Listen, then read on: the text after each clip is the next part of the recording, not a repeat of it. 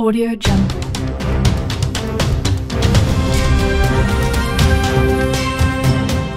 रतलाम जिला प्रशासन द्वारा कृषि उपज मंडी में व्यापारियों द्वारा किए गए अवैध कब्जे को हटाकर पंचनामा बनाते हुए माल को अन्य स्थान पर रखने के आदेश दिए गए बताया जा रहा है कि व्यापारियों ने सालों से मंडी में टीन शेड लगाकर अपना माल रखा हुआ था